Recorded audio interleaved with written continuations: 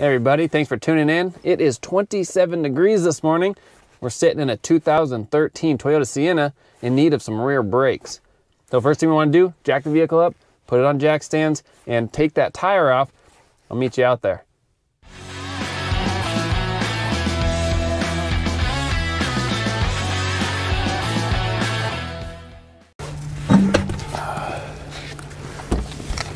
Once you have the tire off, what I like to do is take a flathead screwdriver, put it in between the caliper and the rotor, and pull.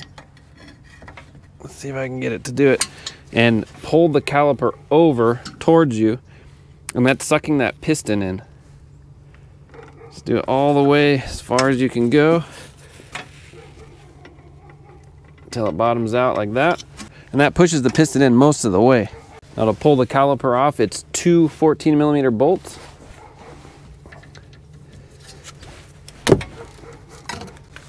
Once they're cracked loose, usually you can get them just with your fingers. If not, keep using the ratchet, pull them off. All right, and then this can just set up and over. It's nice and light, it's just aluminum. Just set it there for now. Now we wanna pull our bracket off. That's held on by two 17 millimeter bolts in the back. Gonna take a little more force to break these loose. And for these, I'm just gonna use an electric ratchet to buzz them off just for speed.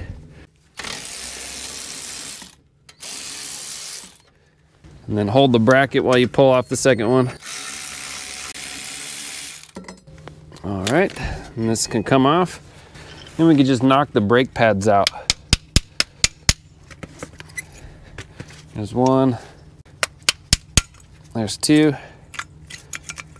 And then on the bracket, we also have these little hardware clips. We can pop those off. Should be four of them. And then in where the, that hardware was sitting, right in these grooves, we just wanna clean those off the best we can.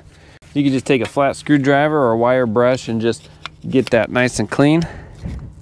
All right, and then we'll pop these off, these slide pins. They just come out of the boot like that. And then we'll wipe this off and apply new grease. It's not a petroleum-based grease, but it's special caliper grease. So we'll just apply a new light coating on the pin. And then we'll pop it back in. I like to twist it as it goes in. Do that with the second one.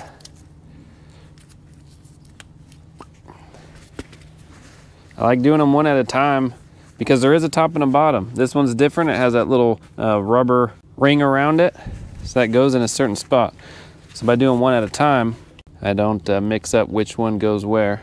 And then same thing, put it in, twist it. And while we're messing with the bracket, we might as well just go ahead and put the new clips in. They only go on one way. So we'll just snap those in place. All right, so now our caliper bracket is ready to be installed once we get to that point. We're gonna be replacing the rotor as well. Hammer, and just give it a good tap. When you hit on the rotor, just be careful not to nick your wheel studs. Because we're replacing it, you can even hit on the rim. That's okay if you damage this because it's getting a new one. So whatever you feel comfortable with. And also make sure that your parking brake is off because the parking brake shoes are under this rotor hat. So if they're applied, then this won't come off. Couple of hits. You can see the shoes here for the parking brake. What you could do is take some brake clean and clean off your parking brake. Now's a good time if these pads on your parking brake are low to go ahead and change them while we're in here. Uh, these look just fine, so we're not gonna need to do that this time around. Once you have this surface cleaned off here, that's your wheel hub. I like to apply a little bit of anti-seize, some kind of corrosion inhibitor. This is fluid film. It's kind of expensive stuff. I use on a lot of brakes. I do a lot of brakes. I love this stuff because it's easy to apply. If you don't have anything like this, a little bit of anti-seize is okay. Just don't get it on your wheel studs, but just right here on the hub, a nice light, super light film of anti-seize. Just gonna apply a little of this. Now your new rotors come with a corrosion inhibitor from the factory just so it doesn't rust during storage. You want to take some brake clean, spray it off real good, wipe it down really good. Otherwise your brakes will smoke and smell as that inhibitor burns off. So we just want to clean off as much as we can before installation. Now on the wheel hub, there are witness marks where these little screw holes went. So I'm going to line it up the exact same way. as it was before. Okay, there we go. Also on the old rotor, there's this little rubber grommet. We're gonna pop out of the old rotor and put it right here on the new rotor. You can take a little screwdriver to kind of squish it in. There we go. Just make sure it's in there. Okay, rotor's in. Go ahead and put our caliper bracket on.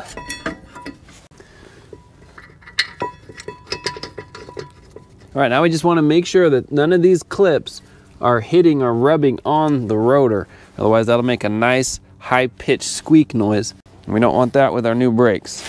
Now with these pads, you have to install the little wear indicator. So if you look at how this is gonna go on, the wear indicator goes on the bottom.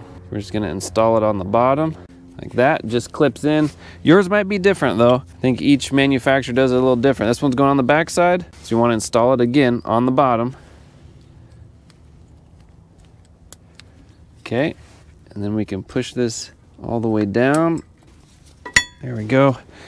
So these brake pads, you can kind of see how they go in. They have to go in at an angle and then twist. And then the top just slides in. So you should have plenty of room for sliding. And you should be able to slide it freely without it binding up. Okay, those are in. Now we can put our caliper on. Before we put the caliper on, even though we push that piston back most of the way, it still needs to go just a little bit more. So I'll show you how to do that. Now you can get these kits pretty cheap from Amazon, right around 20, 25 bucks. I've had this one for a while. It's got dirt and debris all in it. So we're gonna take the right hand one. And this is just one option. I'll show you another way as well. Take the right hand one along with this.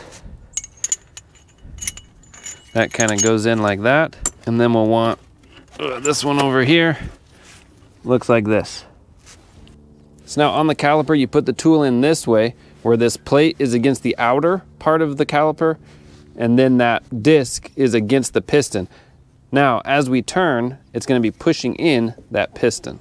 So that's one way of doing it, pretty easy. This kit can seem like a little bit of overkill because it does practically every vehicle on the market. This up here is a picture of another kind, also a valid way of doing it. Because this piston doesn't have to go in very far, you could also just use a pair of C-clamps like this, and it just goes in side the piston like that and you just squeeze it tight, push it in. So lots of different ways. But because we did the screwdriver method at the beginning, it doesn't really have to go in very far. Once we got it pushed in, we'll put it back over our brakes.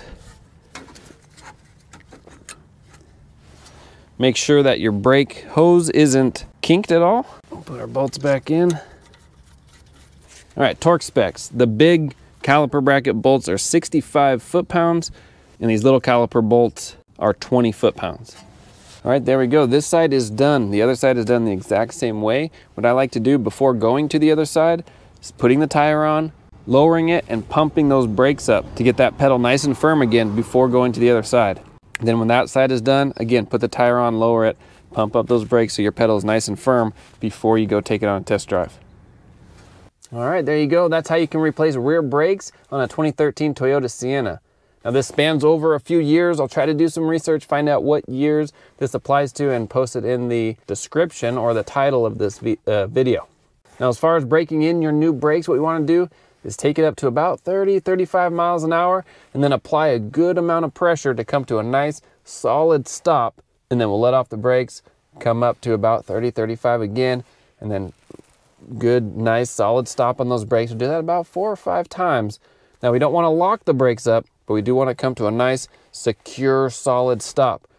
So with that said, just make sure no one's behind you, uh, that you're doing this in a safe manner. After that, you should be good to go. All right, thanks for watching. Like, subscribe. See you on the next one.